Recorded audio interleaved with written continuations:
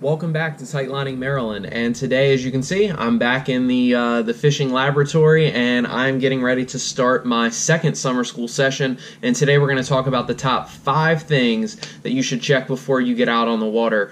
Um, it's my belief that if you check these five things, and I'm sure that certainly you could look into a few more, but I was trying to keep it simple and and short and sweet. But if you check these five things before you head out, you're going to have a much better day on the water. You're going to feel as if you know you have a good grasp of what it is it's going to to take to be successful, and you're going to hopefully put a few more fish in the net. So I hope you enjoy, and thanks for tuning in. It is July, July 3rd to be exact. So tomorrow is July 4th. So happy 4th of July to everybody watching this video, no matter whether you're seeing it beforehand, on July 4th, or after. I hope you guys have a good holiday.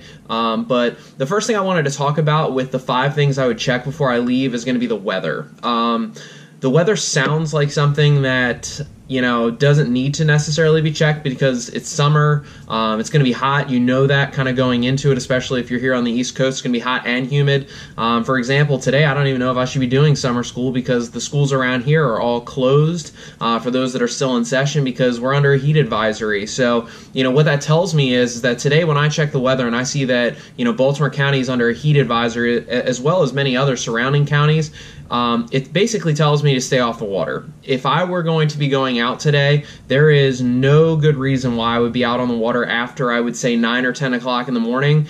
And anytime during the afternoon and or even evening it's going to be pretty hot and muggy. Um, so i don't even know about fishing dusk per se but if i were going out at all it would have to be right at the crack of dawn. And even that is just not worth it. So when you see a weather forecast and it's got you under you know, in a summer, a heat advisory, or in the winter, it's going to have you under some sort of like freeze warning or watch.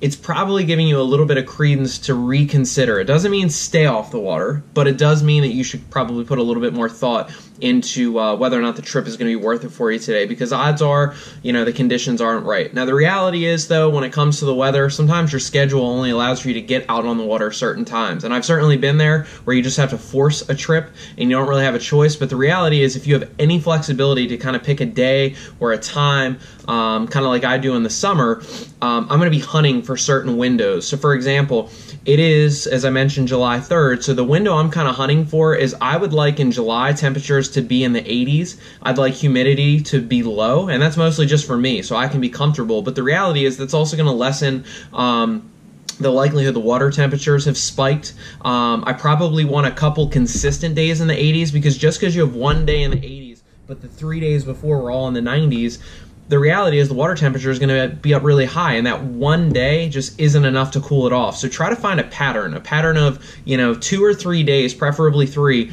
that all fit in the range of what you're looking for. So in the summer i'm looking for 80s low humidity. I would even prefer to be honest some rain not heavy and we're not talking like an inch a day but you know if i got a, a quarter of an inch or even a third of an inch um, you know once or twice in that three day window i knew it was going to be hazy or not hazy excuse me overcast and i knew that essentially that that water is going to be on the cooler side that's going to be what I'm hunting for as I'm looking for kind of my summer window to fish. The reality is, if you go out on a bluebird day, so like the skies are just all bright blue, there's not a cloud in there, and the sun's out, even if it was 80 degrees, those aren't optimum conditions because the reality is you're going to cast shadows onto the water that are more easily seen on those sunny days by the fish. So when I'm out looking for again water that I want to you know fish for and weather that's going to fit what I'm looking for I'm probably looking for temperatures on the lower side in the summer, less humidity, and just something that I'm going to be ultimately comfortable in. And the fish aren't going to be as easily able to see me because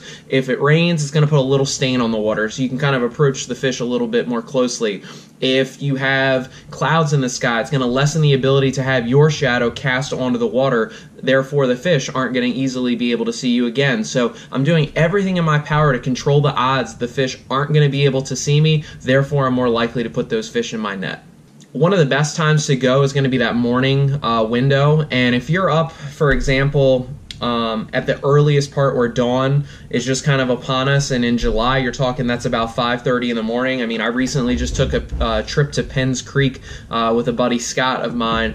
And unfortunately the the roads didn't quite allow for us to get to the water as early as we wanted. But the reality was we both kind of agreed the best time for the bite was going to be in that early part of the day being on the water at 5.30 and probably getting a solid bite into uh, a 9 or 10 o'clock hour. So that's going to be when the temperatures are low. In the summer, you're going to be in the 50s or 60s more than likely, um, depending upon where you're at, of course. You know, it could certainly be in the 70s if you're in kind of a heat wave. Um, but the reality is, you want to be out on the water early. You're going to get the most out of that window, probably a solid three to five hours of good fishing and yeah, it's great, you know, at night to catch a spinner fall, but that window is going to be so small that it almost seems like, you know, you're chasing, um, you know, an hourglass of time that you're going to be able to fish. So I personally, when I'm looking at the weather, I want to see what time the sun's coming up, what are the temperatures going to be like, and uh, what's the most I can do to get out on that water as soon as that sun's coming up um, I'm going to dress for the conditions. So if I know that I'm going in the morning and it's going to be in the 50s or 60s, you know, I'm probably going to have maybe in the summer, as crazy as it sounds, some long sleeves. I'm going to be in you know long pants for wading or my waders. Um, so you have to look at that weather and plan ahead and dress appropriately. You know, given what you got. Obviously, in the winter or fall, you know the things are going to change. But right now, if you're looking to get out on that water, try the morning bite. Try to make sure that it's overcast. Try to hit you know somewhere in the 50s or 60s, and that's going to probably increase your likelihood that the fish are most active because that water temperature is going to be at a prime, which we're going to be talking about a little bit later.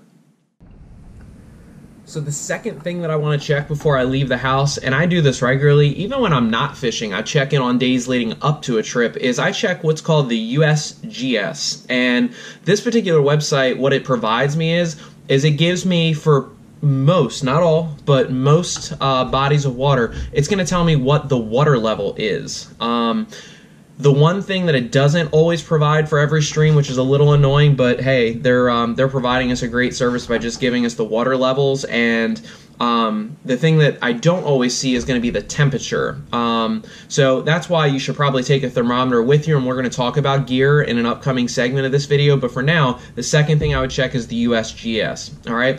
When it comes to the USGS, I've found that um, depending upon what body of water, because the smaller the river or the bigger the river, it affects what levels are you trying to fish. Um, but I've found that even when I'm fishing a medium to larger sized river, I generally don't like fishing when the CFS, the cubic feet per second, I don't like fishing um, in anything really above 350 to, to definitely 400. I found that I'm uncomfortable um, in that water. There's other fishermen that are going to, you know, handle that much much better than I ever will, especially if you're doing competition angling and you have no choice, or you know you're somebody that's out on the water frequently. Um, but you certainly you know learn how to adapt. But i've found that again uh, a nice 300 to 400 somewhere in that range is going to be good. Anything in the 100s is going to be great um, especially for your medium to small rivers. If you're at 100 cfs to 150 i would call that kind of ideal. On the bigger rivers that's going to be low um, but what i like about that is it makes um, the river a lot more readable okay? So if i'm fishing 150 cfs on a small river yeah it's going to be a little um, a little high but that also means the fish are going to be actively moving around because they have more water to, to kind of um, be in. Whereas if I'm on a bigger river and that USGS is at 150, that tells me they're going to be kind of held more so in smaller pockets of water um, and being condensed to kind of the areas that are a little bit deeper and I can pick those areas apart a lot more. But if it's up at 350 to 400, I would tell you to not steer clear, but definitely be very, very careful wading. I just fished Penns last week and it was in the, I want to say 360 range. And I personally was kind of slipping and sliding around. It was putting pressure on my legs and I had to be really, really careful with every single step about where I was going and what I was doing. Whereas if that would have been 250 to 300, I probably felt a lot more comfortable. I would have been able to walk all sides of the river. So it's imperative that you check the USGS before you leave for a trip because it's going to allow you to do two things check the river levels, and it's also going to be able to um, help you maybe check the temperature, which is another critical factor we'll talk about soon. So, the third thing that you want to check before you leave for a trip or for your fishing trip for the day is you're going to want to check local reports. So, I really think in this third particular step of what to do, there are actually three things that you should do when checking. And the first thing I would check would be kind of your local shops. So, for example, if I was in PA, uh, TCO does an excellent job of posting all the different main rivers um, and they give like eight to ten different river reports. They update it typically daily, although some streams are better than others for which ones they update. Certain ones it's every day, certain ones it could be, you know, every two out of three or maybe once every week or so, depending upon the time of year. Um, but TCO does an excellent job of giving you, you know, what are the conditions, what's the CFS, what's the water temperature, what flies are working, what type of strategy. So not only are they giving you a stream kind of like update of what the main criteria is, but they're giving you the tips and techniques to get out there and catch some fish. When it comes to fishing more locally, I typically check some of my local fly shops on Facebook or I'll check their actual site and they'll post kind of the stream reports or kind of a guided um, update of how a trip just went with one of their clients. So these are really, really critical components similar to TCO of explaining, you know, what's working on the water, what the conditions are like, and how I should approach the water. So I'll start with checking maybe a TCO if I'm in PA. Uh, if I'm going to fish in Maryland, I'm going to check some of the local fly shops. And then the last thing I might do is I'll check YouTube, which is exactly what you're doing right now. Um, I check YouTube because typically what that'll do is I can at least look at older film because, for example, we don't always film and upload that same day. It might not even be in that same week. Um, we're all guilty of getting caught up with other things. So by the time a video goes up, if it was recorded a week ago, it's too late. Okay, the conditions have changed immensely. So what I can do though is maybe look at older film you know, if there's somebody that consistently posts um, and I see that they have multiple July films, I'm going to look for maybe a pattern or a theme of, you know, maybe last July. What was it fishing like around July 4th if they have a video or two that's up around then? And then I'm going to see how my conditions are currently that match theirs, and it gives me a little bit of insight, especially if I check multiple channels. We started talking about, you know, checking local fly shops as well as YouTube. The last thing I would check is going to be blogs. Blogs are great because people are going to post the details of their trip. Um, they're going to explain, you know, the conditions when they first got out of the car to the midday to maybe even the end. Um, there are some really, really good you know people when it comes to giving um, blogs about local streams because of the fact they're trying to log that for themselves. That way the next time they're on the water around this time they have an archive of just information. So that way they don't have to do a whole lot of thinking. You know all of that process that went into that day they came home they explained it to themselves but shared it with other people. And now you have the chance to absorb that information you know and use it to your benefit even though more than likely that person was using it to their own to kind of think about that process and what it was like and hopefully utilize it again in the future. So those are the three things that i would say apply to our third tip about checking your resources before you go so our fourth tip for today, the uh, the next thing that I would say applies to our summer school session number two. Before I leave for a trip, I need to make sure that I have all of my equipment. And equipment is something that you need to pay close attention to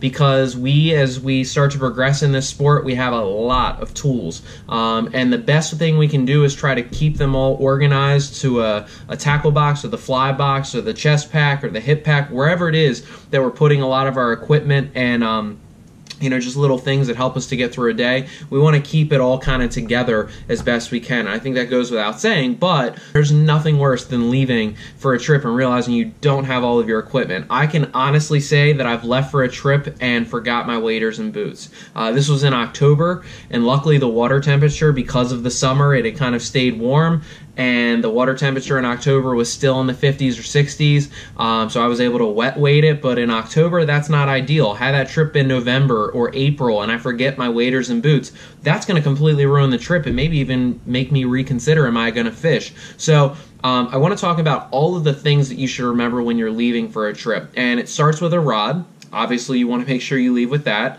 Um, you also need to make sure that you have your reel um, to pair that with the right rod, especially if you have more than one. Okay. The next thing you need is your fly boxes, and I've also been guilty about leaving a fly box behind. Um, I don't think I've ever left a bag behind, but I have certainly left a, a box specifically with the certain types of flies that I felt like were going to execute a positive trip for me. Um, so make sure you leave with that. So you got rod, reel, fly boxes. Next, make sure you bring a net, okay? Um, I have seen people in videos when they don't have a net, they can use a hat, and that's great when you're catching small brook trout or brown trout. Um, but if you get into a, you know, 15 plus inch fish and you don't have a net, um, you're going to wish that you had brought one with you because it is not easy to beach a large fish and just bring it in by hand. So do not ever forget your net. And um, even sometimes when you bring a net, you might accidentally leave it in a car, which I've been guilty of doing too. The next thing that, depending upon, you know, if you're now like me where you're starting to record, you got to bring all of your um, recording accessories. So you're going to need a tripod potentially. You're going to need, you know, your head mount. You're going to need your GoPro. You're going to need, you know, the casing, uh, as well as just all the different things like an extra battery or, you know, a, a charger, which I've now started bringing on the stream with me to make sure that the batteries don't die out on me, an extra memory card. So there's a lot of stuff that goes into the recording side of this that I'm starting to learn on and still have a lot to learn. But, um, you know, the GoPro and all its accessories, you got to make sure you take with you and pack up correctly. The last couple things that I would make sure that I brought with me whenever it uh, comes to packing for a trip is I'm going to want my wading socks. So I have some specific uh, wading socks, and some people have a couple different types one for winter, one for you know summer and spring to kind of differentiate the types of um, thickness you have to keep your feet warmer. But make sure you take a good pair of wading socks the other thing that i would make sure that i brought is going to be polarized glasses um, you know, polarized glasses are obviously going to help you see into the water, uh, reduce that glare, hopefully see those fish a little bit more clearly. That way you don't spook them um, just by walking up on them blindly. So bring, you know, a pair of uh, polarized glasses. So I typically bring like, um, not that you need to listen to this tip on exactly what I bring so that you bring it, but just saying like I bring food. So I have a snack like a Clif Bar or a Nature Valley bar or a Nutrigrain bar. I want something to provide me a little bit of energy or pick me up in the middle of the day because um, usually I'll eat breakfast and leave. I'll fish for a good six to eight hours and I'll eat somewhere right in that middle of the day part to hold me over until I get home. Um, but I'm thinking when I leave the house, I need a bottle of water or two, um, and I'm gonna need a snack to kind of get me through. That way, I'm not spending you know ten to twenty dollars on the road just because I didn't plan ahead. The final thing that I would say that I need to make sure that I bring outside of the food and water is I'm gonna want to bring a wading belt with me um, and maybe even a wading staff. I don't personally have a staff. I know that some people, depending upon age, will definitely have it with them. I notice you know, as you get into the sport and you see the um, the older fly fishermen, the more experienced ones that know a lot more, they might bring one because it helps them to feel comfortable. They may bring one because of their age. I don't know. Um, I definitely think that they're probably in the smarter group of people because I I myself probably think that I should have one on me uh, whenever I go out because it would really help for when I'm losing my footing. Um, but I think the wading belt is important because I have fished in that 300 to 400 CFS, and I found that whenever I'm fishing that, um, sometimes I chance whether or not I'm going to be taking on water if I take a small dip. So don't forget a wading belt. Um, I've mentioned that before in other videos, um, the importance of that to make sure that that way if you do go under, the water doesn't go all the way through um, your waders and ultimately weigh you down. So those are all the critical components that I think are needed when it comes to equipment, all the fly gear, all the recording gear, um, and just tactical fishing things that I'll need whenever I hit the water. And the fifth and final tip in this video today is going to be to bring extra. Okay, so I don't think everybody's got extra waders and boots lying around, and I don't think you really need them realistically, unless, of course, uh, maybe you got a friend tagging along. But um, some things that I really think that you should bring extra of are going to be just starting with an extra rod. So I had fished before and made the rookie mistake of out in Western Maryland. I took one rod. You know, I felt it was my best rod. It was going to be versatile enough so that I could fish a variety of different water and I got hung up in a tree. I went to grab for you know the uh, the line that instead of snapping off and losing one fly, I decided I would try to get it out. And while I did that, I ended up stepping on my rod because the water swept it right underneath my feet and broke a 400 plus dollar rod. Downfall was I didn't have an extra one with me. So now basically on every trip that I do, um, I bring two rods. In the event that I make a mistake where it gets closed in the door, I accidentally step on it, maybe a fish breaks it. You never know what's going to happen. Um, but if you're an hour and a half, two hours, three hours, even five minutes from home, um, when you break that rod, it's obviously going to ruin your day, but there's nothing worse than compounding that by not having an extra one so that you can get back to fishing um, and hopefully bring down your anxiety a little bit by bringing another fish to net um, since you've already broken one rod. The next thing that I would bring is an extra pair of glasses.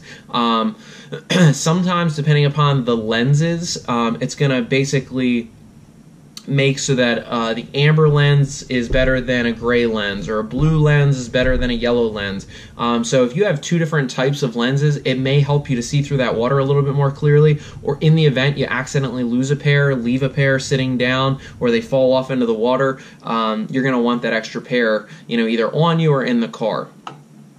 Next, um, you know, I'm going to bring extra food and water with me because of the fact that some days it could be hotter than what I anticipated. I could end up hungrier than what I anticipated. Um, it's just a good rule of thumb to have extra water or food on you so that way you can feel comfortable on the water. Or if you ate it all while you're out there and now you got a two or three hour ride ahead of you, you know, you have something kind of sitting there on ice or just ready for you when you get in the car.